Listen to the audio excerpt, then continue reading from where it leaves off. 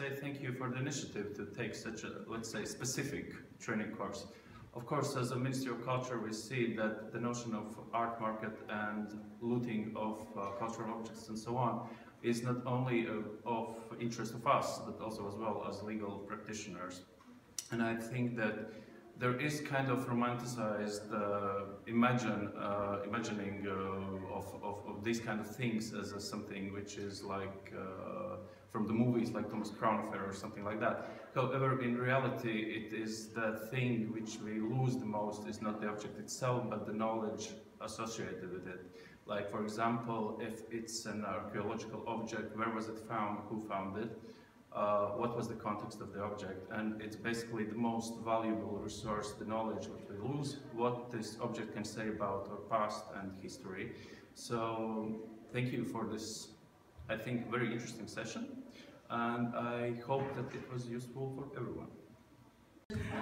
So uh, the course was very inspirational, uh, hearing different views on how heritage is perceived as if we are speaking about the heritage um, so, um, passed down from generation to generation and if we are speaking about the history for hundred years and more and how we are perceiving our modern creative expressions that might become a heritage uh, years to come. So it was very interesting reflection and seeing these different views and environments uh, stating uh, the conditions, how it could evolve possibly in the future in legal terms, both for the heritage com uh, communities as well. And uh, the seminar is also very important and the continuation of the seminar in terms of our legal practice here in Latvia as we are about to adhere the UNESCO 1970 Convention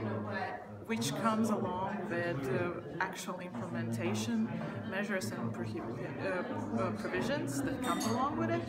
and the way how uh, professionals are going to implement it and deal with it. And on the other hand, it's also interesting from the point of view of intangible cultural heritage, as for the first time we are having our own law on ICH that very much deals with the communities and the intellectual property of communities. So it's going to be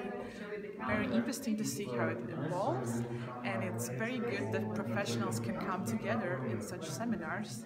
and discuss these matters to track the way uh, the discourse evolves and, and to be able to deal with their uh, regular problems they solve every day. In my opinion, one of the um, most beautiful definitions of what uh, cultural heritage represents for us is given in the Faro Convention of 2005 and it states cultural heritage is a group of resources inherited from the past which people identify as a reflection and ex expression of their constantly evolving values, beliefs, knowledge and tradition. And uh, so this value aspect, I think, is uh, uh the, the aspect that is more and more